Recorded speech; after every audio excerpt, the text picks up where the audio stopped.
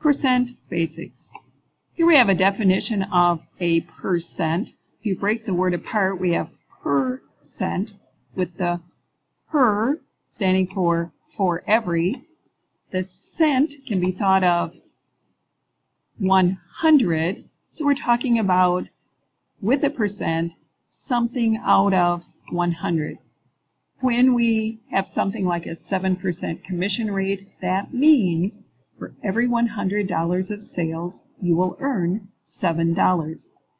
The per cent puts it as a fraction of 7 over 100. A 5.5% tax rate means that for every $100 of goods that you purchase, you will pay $5.50 in sales tax. If we take that 5.5% and express it as a fraction, we have 5.5 per 100. When we're converting from a percent, we can translate that 65% here as a fraction, 65 over 100. And if we read that 65 one hundredths, it lends itself to the decimal equivalency of 0.65, 65 hundredths.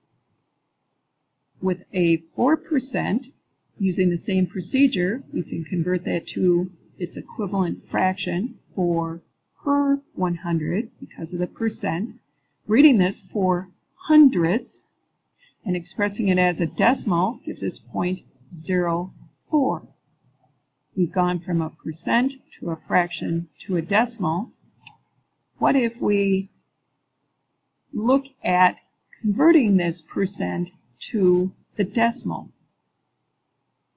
What happened? We used the fraction in the middle to get from percent to a decimal.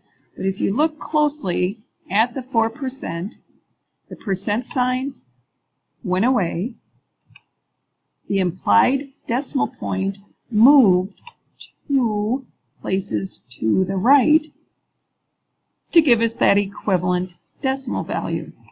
So to capsulize this or summarize what just happened, the rule to change a percent to a decimal, first we want to remove the percent symbol and then move the decimal point two places or positions to the left. 72%, changing it to a decimal, will first remove the percent sign.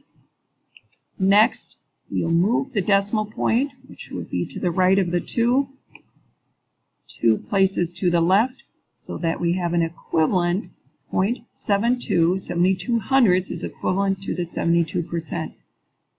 Let's do a little practice here. 13%, convert it into a decimal, move the percent, two decimal places to the left, gives us 0.13, or 13 hundredths. 2%, convert it into a decimal, we remove the percent sign, and regardless of the size of the percentage, it's still two decimal places to the left, which in this case requires us to put a place value. We have to put a zero in there for the two place values to the left.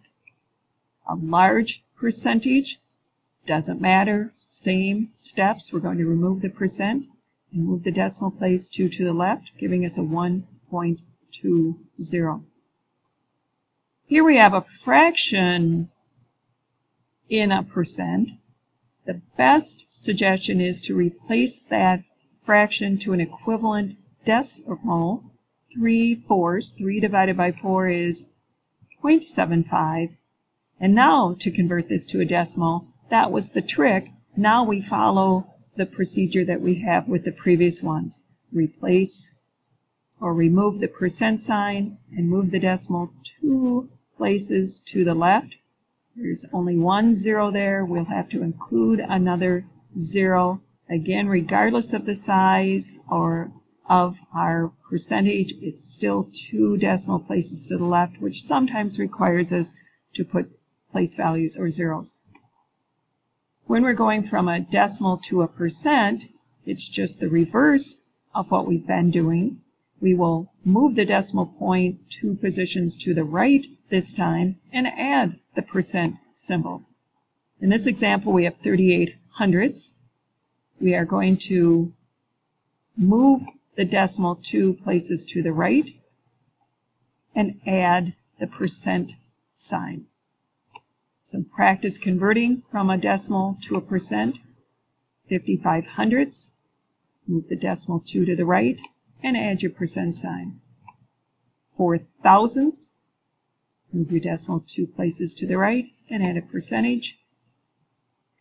Two, even though it doesn't look like a decimal, the decimal place is to the right of the two.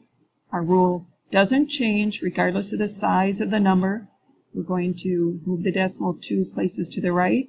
That means we'll put placeholders in there and then add our percentage, giving us 200%, which is equivalent to 2.